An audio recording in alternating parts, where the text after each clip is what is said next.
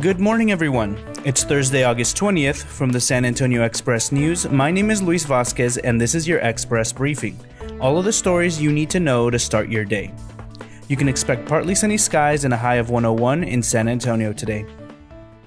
Four years before he was fired for using a knee restraint on a suspect, San Antonio police officer Michael Brewer was involved in the tasing death of a 41 year old man police said was experiencing a mental health crisis. We'll have more on that story later today.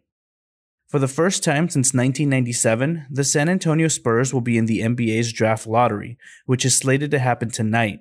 You can find everything you need to know about the Spurs' chances of landing their next superstar in the draft this fall at the link in the episode's description. And now let's move on to the top stories for the day.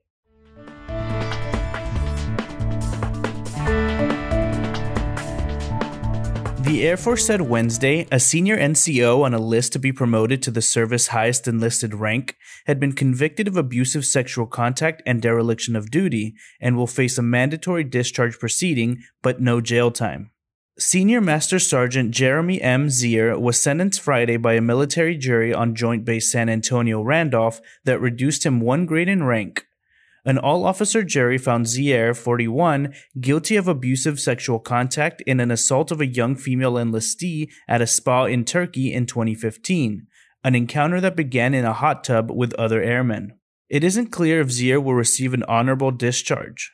He could be allowed to retire with full benefits. Read more about the trial and the ongoing problem of sexual assault in the military in the latest from Sig Christenson. Flecks of genetic material float inside the star studded microcentrifuge tube. See that? says molecular technologist April Cornell as she holds up a sample during an afternoon shift. She'll test the tube's content using a process called polymerase chain reaction, or PCR, for the presence of SARS CoV 2, the virus that has infected 22 million people and killed more than 775,000 worldwide.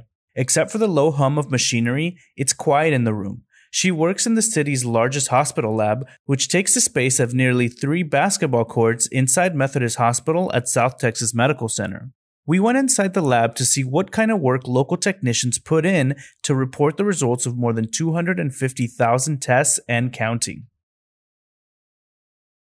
As the Democratic National Convention opened on Monday, Former First Lady Michelle Obama condemned President Donald Trump for having downplayed the coronavirus pandemic, and scenes flashed throughout the night from Houston, an epicenter of the crisis. In Texas, Democrats have seized on similar attacks, targeting Governor Greg Abbott and his ties to the Trump administration during the pandemic to undermine Republicans down ballot, especially in diverse suburban districts. While the governor is not on the ballot this year, Democrats have long believed that their best path to retaking the state house this cycle goes through Abbott, a close ally of the Trump administration and a fundraising juggernaut who has consistently wielded his name and campaign war chest to help struggling GOP candidates cross the finish line in crucial electoral contests. Jeremy Blackman explores if attacking Abbott's COVID response would lead to a Texas takeover by Democrats in his latest article. Columnist Elaine Ayala writes, quote, those who've read and studied Susan B. Anthony's place in history say she was not only intelligent, but tactical. She zeroed in on the suffrage cause and was willing to go to jail for it. This week, she made news again, 114 years after her death and 100 years after the 19th Amendment guaranteed the right of women to vote. The setting was a White House event in which President Trump announced he was pardoning her. Some of the feminists I called Tuesday were watching the second night of the Democratic National Convention and had the same initial reaction to the news of her posthumous reprieve. They laughed. You can read Elaine Ayala's latest column in the episode's description.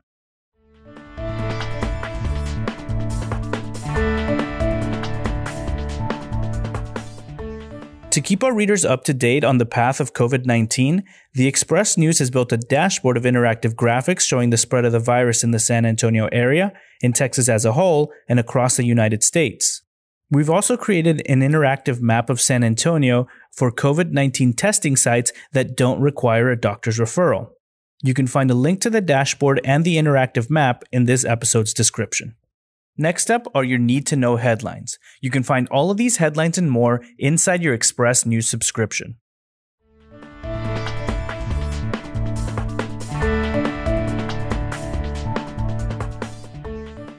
San Antonio officials reported Wednesday that 19 more residents died from the novel coronavirus, including one younger than 10 and one between 11 and 19, raising the verified countywide death count to 656. The Postmaster General ordered the removal of six mail sorting machines in San Antonio, two more than previously known by postal union leaders who say cuts to the U.S. Postal Service are causing long delays in mail delivery. San Antonio based USAA is donating $30 million to assist military members, veterans, and their families grappling with the fallout from the coronavirus pandemic. The donation is the largest one time philanthropic contribution in the company's 98 year history.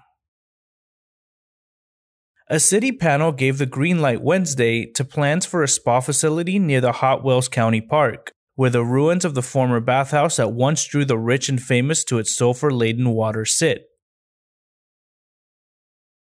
Officials on Wednesday announced that a Converse firefighter has died after battling COVID 19. Fire Captain Brian Anderson, a 16 year veteran of the Converse Fire Department, died on Tuesday. Students are not yet on campuses in the Northeast ISD, but teachers are working from their classroom. Cafeteria and maintenance workers, as well as custodians, are also present. The district has reported eight coronavirus cases in the past two weeks. As uncertainty surrounds the future of San Antonio's main emergency housing assistance program, one city council member has called for millions more in city dollars to be plugged into the fund that helps keep people in their homes.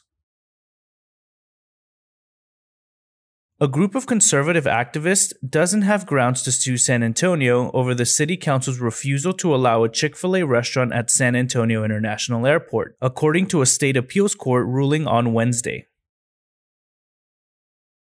A decision on whether to build a new passenger terminal at San Antonio International Airport is on hold until the spring of summer 2021, about a year later than planned because of the COVID 19 pandemic. The Express News editorial board writes, quote, Now that Mayor Ron Nirenberg's workforce development plan is on the November ballot, the focus must turn to three important themes. You can find out what they are in the episode's description.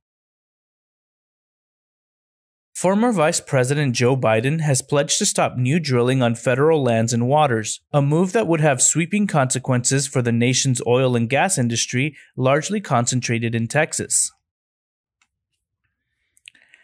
In campaign speeches, tweets, and a Sunday op ed, President Donald Trump repeatedly warned of what a Joe Biden presidency would mean for the suburbs, which are the only battleground in Texas, as one Republican strategist put it.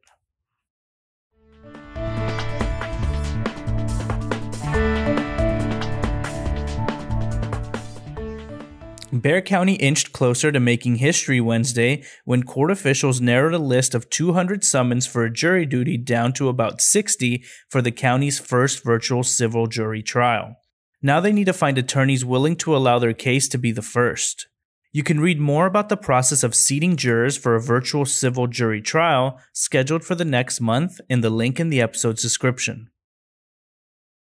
And now let's move on to the fun stuff.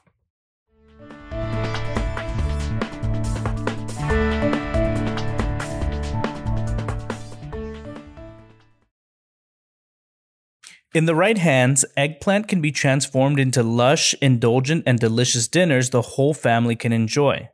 We're exploring some of the tips to keep in mind while working with eggplants and sharing four recipes that celebrate their qualities. With screeching noise and tons of poop, they lift to their devil bird label. Here are several reasons to give an expletive about great tailed grackles in Rene Guzman's latest Essays Common Critters column. Movie theaters across the country are preparing to start reopening with new safety measures in place and new movies starting to premiere only on the big screen. SeaWorld San Antonio's popular annual Biere Fest is returning in September, but like many things in 2020, the pandemic has brought on changes for the event. The UTSA Roadrunners have four quarterbacks who have played at the FBS level, and coach Jeff Traylor said he's close to settling on a starter. And that's all for today. This was your Express briefing. My name is Luis Vasquez. Please consider becoming an Express News subscriber to get in depth coverage on all the stories you heard today. Also, be sure to rate and review this podcast inside of your Apple Podcast app, as it really helps the show. Have a wonderful day, everyone.